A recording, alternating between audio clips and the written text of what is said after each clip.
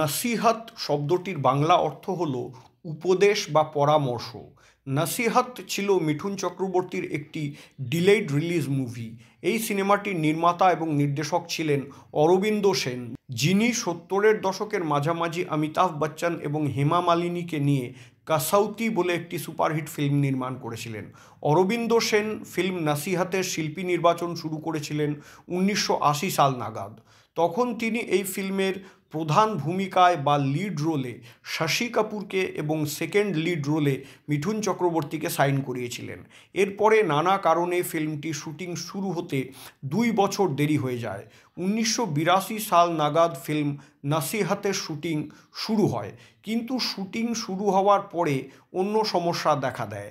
ফিল্মের অন্যতম নায়ক শশী কাপুরের স্ত্রী সন্দেহ করতেন যে তার স্বামী শশীর সাথে নায়িকা শাবানা আজমির কোনো সম্পর্ক আছে। তাই শশী কাপুর পারিবারিক অশান্তি থেকে বাঁচতে নায়িকা শাবানা আজমির সাথে কাজ করতে রাজি হচ্ছিলেন না। শাবানা আজমিকে ফিল্ম থেকে সরিয়ে দেওয়ার জন্য শশী কাপুর, ছবির নির্মাতা নির্দেশক অরবিন্দ সেনকে ক্রমাগত চাপ দিতে থাকেন। কিন্তু অরবিন্দ সেন শাবানা আজমিকে ফিল্মে রেখে দেন এবং শশী কাপুরকেই শেষ পর্যন্ত ফিল্ম থেকে সরিয়ে দেন।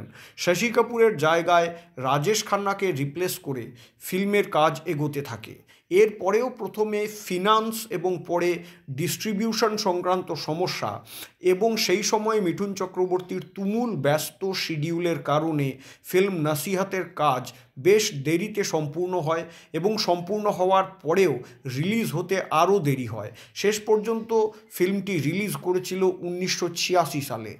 নাসিহাতের কাজ যখন শুরু হয়, তখন মিঠুন চক্রবর্তীর স্টার ভ্যালু ছিল গড়পর্তা বা অ্যাভারেজ সুরক্ষা এবং তারানা ছাড়া সেই অর্থে মিঠুনের নামের পাশে কোনো বড় মাপের হিট ফিল্ম ছিল না। কিন্তু নাসিহাতে শুটিং চলাকালীনই উনিশশো বিরাশি থেকে উনিশশো পঁচাশি সালের মধ্যে ডিস্কো ডান্সার প্যারি বেহনা, ঘর এক মন্দির, আঁধি তুফান, অবিনাশ এবং প্যার ঝুকতা নেহির মতন সিনেমাগুলি রিলিজ করে এবং এই সব সুপারহিট ফিল্মগুলির দৌলতে মিঠুনের স্টার ভ্যালু আকাশ ছোঁয়া হয়ে যায়। সেই কারণে ফিল্ম নাসিহাতের চিত্রনাট্যে মিঠুন চক্রবর্তীর স্পেস আরও অনেকটাই বাড়িয়ে দেওয়া হয়। যার ফলে সিনেমার অন্য নায়ক রাজেশ খান্না বেশ ক্ষুব্ধ হয়ে গেছিলেন।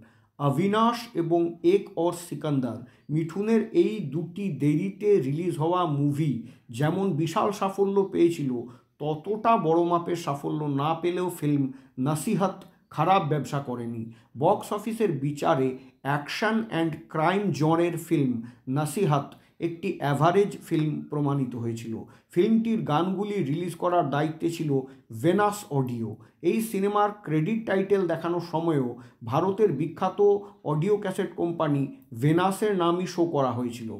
কিন্তু এর গানগুলি অডিও হিসেবে শেষ পর্যন্ত রিলিজ করে টি সিরিজ কোম্পানির অধীনে। নাসিহাতের মুখ্য শিল্পীরা ছিলেন রাজেশ খান্না, শাবানা আজমি, মিঠুন চক্রবর্তী, দীপ্তি নাভাল এবং আমজাদ খান। এছাড়াও ছিলেন বব ক্রিস্টো এবং মানেক ইরানির মতন ভিলেনরা। সিনেমাটির কাহিনী লিখেছিলেন কাদের খান। সিনেমার গল্পে শ্রমিকদের উপরে মালিকদের জুলুম, প্রাইভেট কারখানার শ্রমিকদের সুখ দুঃখ, তাদের জীবনের চাওয়া পাওয়া, এইসব কিছু নিয়ে বলবার বা দেখাবার মতো অবকাশ ছিল। কিন্তু ফিল্মের কাহিনীকার এবং নির্মাতা সেই সব গভীর ব্যাপার স্যাপারে না গিয়ে একটা সময়ের পরে ফিল্মটিকে একটি আর পাঁচটা ছবির মতোই মারপিট, প্রতিশোধ এবং নাচ গান সম্বলিত ফর্মুলা ফিল্ম বানিয়ে ছেড়ে দিয়েছিলেন। দীপ্তি নাভালের মতন মার্জিত এবং সংযত অভিনেত্রীকে এই ফিল্মে একটু গ্ল্যামারাস ভূমিকায় দেখা গেছিল।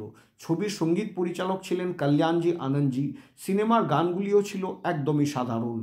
ফিল্ম নাসিহাত থেকে একমাত্র পাওনার জায়গা হলো বজরঙ্গি নামের একটি মিল মজুরের চরিত্রে আমজাদ খানের অসাধারণ স্টিরিও কমিক অ্যাক্টিং। এই সিনেমাটির কাহিনীকার ছিলেন বলিউডের বিখ্যাত কৌতুকাভিনেতা এবং খলনায়ক কাদের খান। দূরদর্শন যখন উনিশশো পঁচানব্বই সালে সিদ্ধান্ত নেয় যে তারা শনিবার বিকেলের বদলে শনিবার রাত নটার স্লটে হিন্দি ফিচার ফিল্মের সম্প্রচারণ করবে, তখন তারা প্রথম ছবি হিসেবে এই নসিহাত সিনেমাটিকেই সম্প্রচারিত করেছিল।